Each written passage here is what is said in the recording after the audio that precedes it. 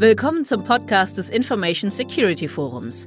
Mein Name ist Christina Bergmann und ich begrüße Sie heute im Auftrag des Information Security Forums. Da muss, glaube ich, Europa sehr stark aufpassen, dass der Schutz der personenbezogenen Daten nicht so weit übertrieben wird, dass wir uns wirtschaftlich oder überhaupt von diesen Erkenntnissen her direkt auch wieder abtrennen, weil wir eben dann nur ein Zehntel von dem, was man vielleicht digital machen könnte, und äh, über, über Big Data oder auch hier über Algorithmen vielleicht etwas entwickeln kann, wo dann Europa aufgrund dieser Schutzvoreinstellungen irgendwie dann nicht die Möglichkeiten einer Dateninnovation oder Weiterentwicklung auch zu gesundheitlichen Fragen sich versperrt. Heute hören Sie den zweiten von drei Teilen des Gesprächs zwischen Axel Voss, Mitglied des Europäischen Parlaments, das aktuell zur Wiederwahl steht, und European Regional Director für das Information Security Forum, Sebastian Tischer. Sebastian und Axel sprechen heute über die DSGVO und die Bedeutung digitaler Technologie, Datenschutz und Cybersecurity im Europäischen Parlament sowie Cybersecurity im Internet of Things und die ethischen Gesichtspunkte und Sicherheit bei AI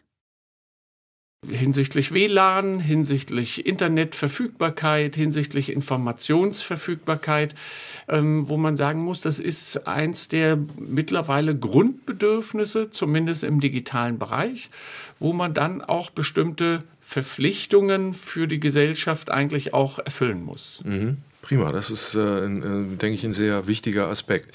Wie wichtig wird er in einem Europaparlament eingeschätzt? Welchen Anteil nimmt diese Thematik unter den vielen, vielen anderen Themen, wenn man das versucht, prozentual auszudrücken? Also es fällt mir schwer, das prozentual auszudrücken. Ich würde mal sagen, aber wir sind vielleicht mal erst bei 10 Prozent mhm. vielleicht und müssten da eigentlich viel schneller vorgehen und äh, viel mehr gestalten, was auch die Zukunft eines Netzes oder auch die Zukunft von Produkten betrifft. Dass man nicht nur was äh, die Privatsphäre, also dass man das Privacy by Design entsprechend nach vorne stellt, Privacy by Default nach vorne stellt, aber auch Privacy äh, by Security ähm, nach vorne stellt, dass man das versucht, irgendwo schon in den Entwicklungsstrang und äh, in die Produktentwicklung mit einzubauen. Das äh, gerade auch was äh, Cyberangriffe betrifft, ob das jetzt ähm, bestimmte Puppen mit, äh, die sprechen können oder äh, Augen haben oder wie auch immer, dass es da eben dann nicht möglich wird, abzuhören. Es sei denn, man sucht unbedingt ein solches Produkt, aber wo es nicht per Zufall einfach dann passieren kann. Also Sie haben jetzt das, Und, äh, referenzieren jetzt auf ein Beispiel einer Kinderpuppe, die genau. im äh, Umfeld von Internet of Things sozusagen ja. angebunden ist, über WLAN äh, sprechen kann, ja. Nachrichten weitergeben kann, die Augen als Kamera äh, sozusagen funktionieren, also von ja. so einer Fiktion sozusagen. Genau. Gibt es ja teilweise genau. sogar schon. Ja, ja. ja okay. Also, und mhm. dass man das versucht, in einen, einen, einen Entwicklungsprozess sozusagen direkt mit äh, zu integrieren und da auch jeden nochmal dazu animiert, dazu auch auf diese bestimmten Dinge, ich sag mal, was äh, Privatsphäre, was Sicherheit und was auch bestimmte Voreinstellungen betrifft, nochmal darauf hinweist. Mhm, okay, also das ist im Grunde genommen Security by Design, Default and Deployment. Ja, ne? Deployment ja, also auch genau. in dem Device, dass es voreingestellt ist, ja. dass man nicht selber versuchen muss, das nachträglich zu installieren.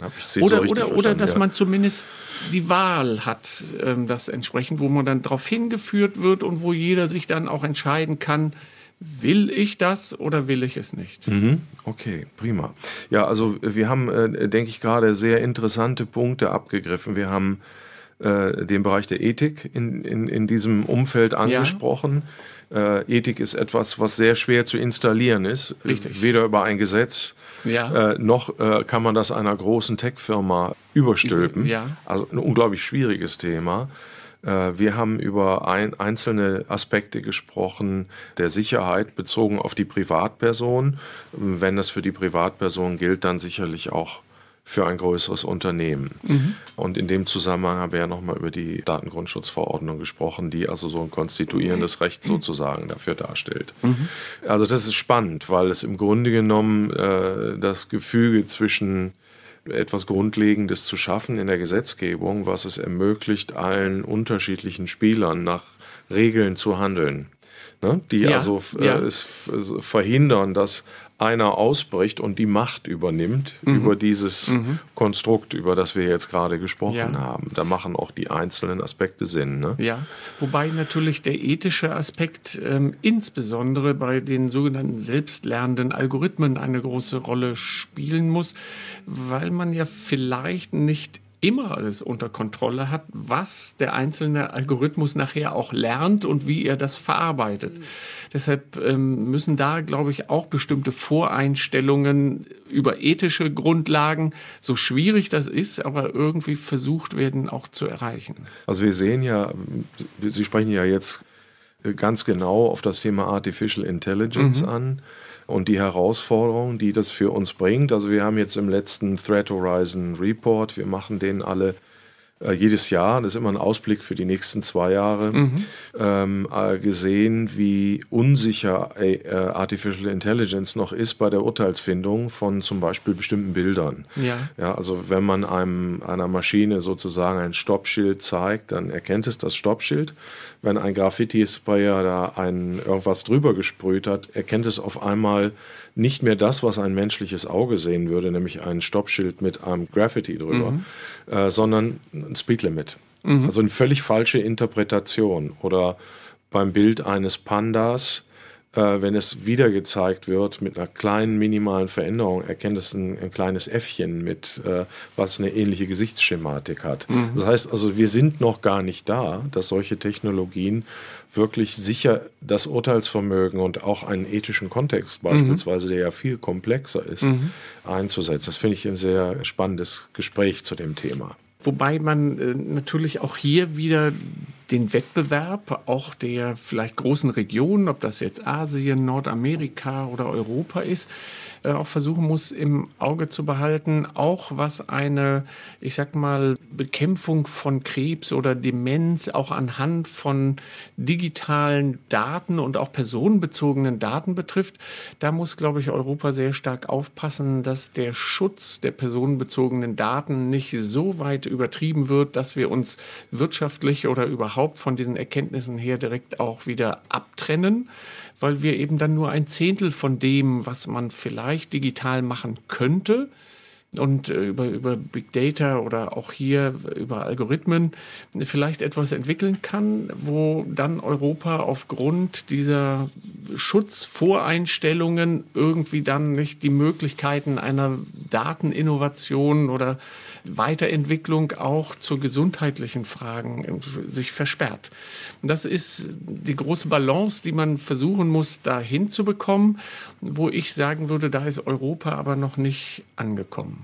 Das heißt, wir verstehen als Europa-Konstrukt noch nicht die, ba die, Balance zu halten zwischen der, den Chancen, die Technologie bietet, auf der mhm. einen Seite, mhm. und den Risiken, die damit einhergehen. Genau. Also das ja.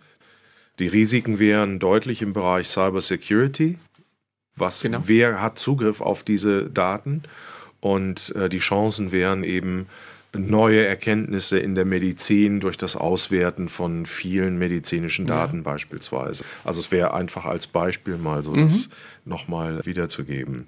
Kommen wir nochmal zurück auf die Datengrundschutzverordnung, also die General Data Protection ja. Regulation im ja. europäischen Kontext, in Deutsch Datengrundschutzverordnung. Wenn man sieht, die, diese Verordnung heute, vielleicht in zwei Jahren und vielleicht in fünf Jahren, wie wird sich das entwickeln? Wie ist auch das Feedback, was Sie erhalten von kleinen Unternehmen, größeren Unternehmen und ganz großen Unternehmen. Haben. Sie Feedback bekommen? Ja, also die Einführung der Datenschutzgrundverordnung hier in Deutschland führte ja leider zu großer Kritik was aus meiner Sicht nicht immer so berechtigt schien. A, weil wir uns eigentlich sehr stark dem Bundesdatenschutzgesetz angegliedert hatten und vielleicht nur manches vorher nicht so beachtet wurde, obwohl es eigentlich rechtlich gefordert worden ist. Und dadurch gab es nochmal diesen Anstoß. Jetzt gab es aber auch zwei Entwicklungen. Einmal das sogenannte Abmahnwesen oder auch dadurch, dass wir hier 16 Landesdatenschützer haben, die nochmal wieder eigene Interpretationen, eigene Anforderungen auch hineininterpretiert haben, wo es zu einer Konfusion der Informationen auch kam. Ich glaube schon, dass wir vielleicht aufgrund dieser Rückmeldungen durchaus mal überlegen müssten, könnte man nicht im ehrenamtlichen Bereich oder bei kleinen Handwerksbetrieben, wo also die Gefahr einer Datenverletzung jetzt wirklich nicht so gravierend ist, ähm, dort vielleicht auch einige Lockerungen oder bürokratischen Abbau auch äh, entsprechend wieder betreiben.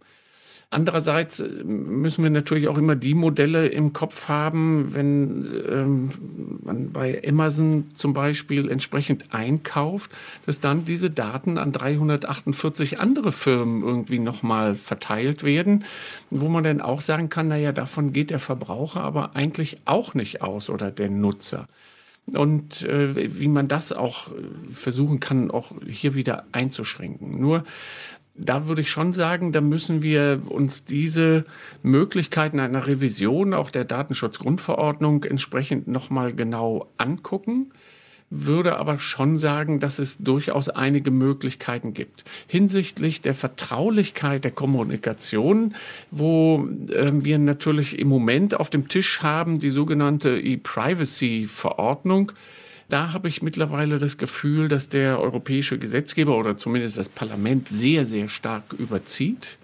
Bis hin, vielleicht auch etwas übertrieben ausgedrückt jetzt, aber wo man sagen kann, das ist die Verabschiedung der Digitalisierung aus Europa ähm, dass man das nicht zulassen darf in dieser Art und Weise auf der anderen Seite, wo ich dann wiederum auch das Gefühl habe, bevor wir jetzt mit einer detaillierten Regelung zu einer Privacy, also Vertraulichkeit des Wortes äh, oder der Kommunikation kommen, warum können wir nicht bei der Datenschutzgrundverordnung, ich sag mal ganz simpel, eine Art Artikel anfügen, wo es heißt, und ihr müsst dafür sorgen, dass eure Kommunikation vertraulich ist, ansonsten gibt's Ärger.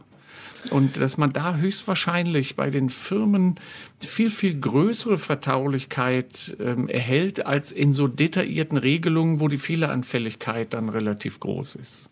Es gibt ja heute durchaus schon Technologien, die von äh, den Tech-Giganten mitgeliefert werden.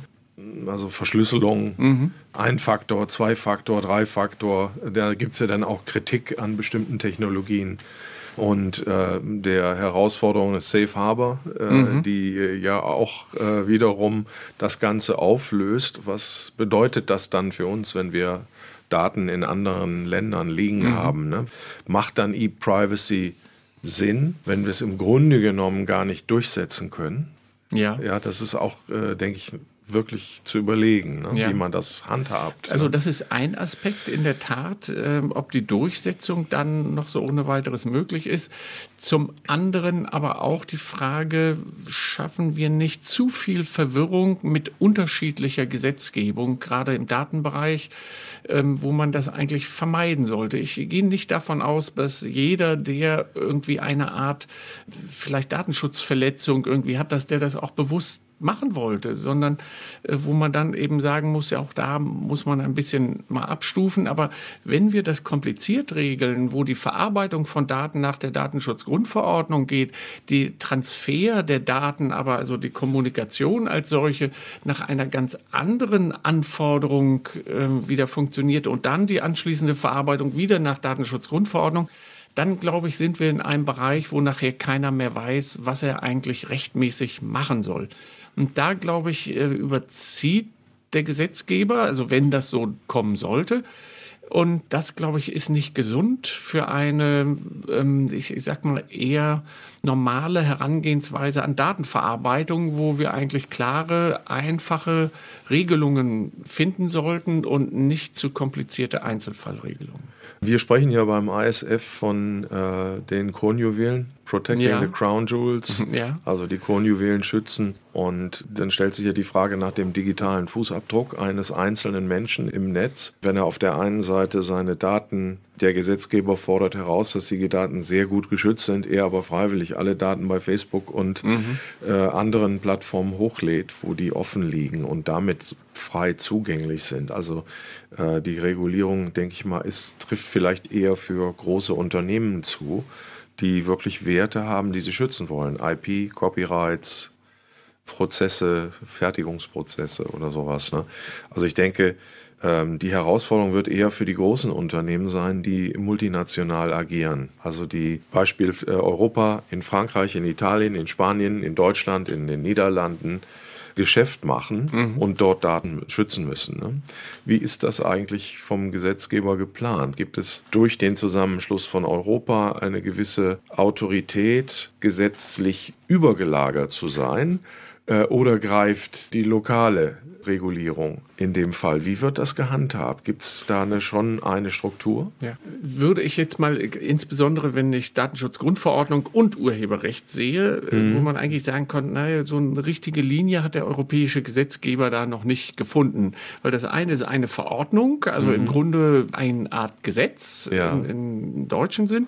Und das andere ist eine Richtlinie, was mehr im deutschen Sinn eine deutsche Verordnung wäre, wo also jeder Mitgliedstaat in dem Fall noch sein eigenes machen kann. Mhm. Auch beim Urheberrecht hätte ich immer gesagt, es wäre intelligenter im digitalen Bereich auch eine Vollharmonisierung vorzunehmen, weil es sich hier um ein globales Medium handelt, wo man sagen muss, je höher die Aufhängung dort ist, umso besser ist es für alle Beteiligten. Mhm. Jetzt äh, war das aber im Rat äh, oder bei den Mitgliedstaaten nicht durchsetzbar weil die eben sehr stolz sind auf ihre Rechtsstrukturen im Urheberrecht oder ihre Traditionen im Urheberrecht, sodass das Verständnis ähm, und das gleiche Phänomen wir auch wieder entdeckt haben bei digitalem Vertragsrecht, also Digital Content. Auch da haben wir eine entsprechende Richtlinie gemacht, die in das jeweilige Zivilrecht auch eingreift. Und auch da ist der Widerstand der Mitgliedstaaten zu spüren, doch nicht den europäischen Gesetzgeber so weit in das Zivilrecht irgendwie eingreifen zu lassen, dass man das voll harmonisiert. Mhm. Halte ich für einen Fehler. Ich glaube, da können wir besser sein. Aber die Mitgliedstaaten sind leider ähm, in ihrer, wie soll ich sagen, Besitzstandswahrung eben immer noch so weit, dass sie sagen, da hat jetzt der europäische Gesetzgeber nichts zu suchen. Das muss man eigentlich verbessern. Und da ist, glaube ich, das Verständnis im Europäischen Parlament höher als in den Nation oder bei den nationalen Gesetzgebern, die dann immer doch eher den Blick auf ihr, ihr Staatsgebiet hat und, und sich sozusagen dort gedanklich beschränkt, während wir auf europäischer Ebene schon das Gefühl haben, wenn es ein globales Medium ist, sollten wir das auch europäisch voll harmonisieren. Und wir müssen uns natürlich immer vorstellen, die Digitalisierung bedeutet eigentlich die Entgrenzung von allem, was wir kennen. Und damit ist ein Gesetzgeber, ob jetzt national oder auch ein regionaler Gesetzgeber wie das Europäische Parlament, letztlich ganz anders gefordert, als das zuvor der Fall war, weil, wie Sie das vorhin auch so recht beschrieben haben, die Daten möglicherweise gar nicht mehr auf dem Staatsgebiet oder dem europäischen Gebiet irgendwie zu Hause ist. Und äh, genauso wie es für einen Rechtsstaat eine extreme Herausforderung ist, eigentlich Beweiserhebungen in anderen Ländern, also bei anderen Servern machen zu müssen, damit man rechtsstaatlich auch hier noch ähm, beweiskräftig was erheben kann. Und das wird, glaube ich, noch nicht so vollständig umgesetzt. Wir, wir sind dabei und würden das auch gerne weitermachen. Es ist aber dringlich notwendig, dass das kommt und gemacht wird. Aber es zeigt eben sozusagen die Grenzen eines nationalen oder regionalen Gesetzgebers gegenüber einem globalen Medium, mhm. wo es eben keine Grenzen mehr gibt und wo aber rechtsstaatliche Grundsätze immer dennoch eine Rolle spielen. In dem Zusammenhang, ähm, äh, der ISF ist ja ein Zusammenschluss von Chief Information Security Officern. Deren Aufgabe ist es beispielsweise GDPR, also die Datengrundschutzverordnung, im Unternehmen zu implementieren. Mhm. Was würden Sie denen empfehlen? Dass, wenn Sie auch im Ausland äh, Ihre Abteilungen haben, auch dort den, äh, diesen Regelungen entsprechend unterwerfen damit ein Datenaustausch hier auch ohne weiteres vorkommen kann. Eine ganz andere Frage ist dann, ob man aus nationalen Sicherheitsaspekten als Staat darauf zugreifen darf oder kann. Das muss man noch mal, glaube ich, genauer betrachten am Ende. Aber äh, grundsätzlich, um den innerbetrieblichen Ablauf aufrecht zu erhalten, und das ist dann egal, ob vielleicht ein Teil des Unternehmens in den USA, in Asien oder Afrika oder wo auch immer sitzt, dass man dann sagt, der Standard der Europäischen Datenschutzgrundverordnung soll überall gelten und dann ist man auf der sicheren Seite, ähm, auch die Daten entsprechend austauschen zu können. Mhm. Ich überlege gerade, wie der, wie sagt man, Binding Corporate Rules gibt es da oder ja ich denke an dieses auch äh, Think Global Act Local ja genau. Also es wär, würde in dem Fall ja als also Think Global Act Local. Ja ja. genau ja. ja, ja genau. Also dem CISO würden Sie empfehlen ja. dass er eben global denkt ja. aber die lokalen Gegebenheiten implementiert. Mhm. also die Anforderungen genau. die lokalen Anforderungen ja, implementiert. genau. Genau. Gut ich denke mal das ist ein ganz guter Rat. Vielen Dank fürs Zuhören. Das war der zweite Teil unseres dreiteiligen Interviews mit dem Abgeordneten Axel Voss. Wir sind bald mit der dritten und letzten Episode zurück, in der Sebastian Tischer und Axel Voss ihr Gespräch über die DSGVO und weitere rechtliche Maßnahmen, mit deren Hilfe Cybercrime und Nation-State Cybercrime bekämpft werden sollen. Ähm, wo man dann eben auch eingestehen muss oder wie auch immer, dass wir nicht alles perfekt in dieser sich rasant ändernden Welt immer regeln können wo man dann sagen muss, gut, wir versuchen das und da, wo es nicht funktioniert, steuern wir nach. Und ich glaube, zu dieser Mentalität muss man eher kommen und nicht sagen, wir fassen das jetzt einmal an und in 20 Jahren machen wir es dann wieder, sondern dass auch da die Gesetzgebung sich an dieser rasanten Veränderung in der digitalen Welt auch orientiert und auch flexibler wird. Hören Sie auch in der nächsten Episode mit dem Abgeordneten Voss rein. Wie immer finden Sie unseren Podcast auf iTunes, Google Play und überall, wo Sie Podcasts hören. Auf unserer Webseite bieten wir weitere Ressourcen an, mit deren Hilfe Sie die Sicherheit Ihrer Organisation verbessern können. Wir freuen uns auf Ihren Besuch auf securityforum.org.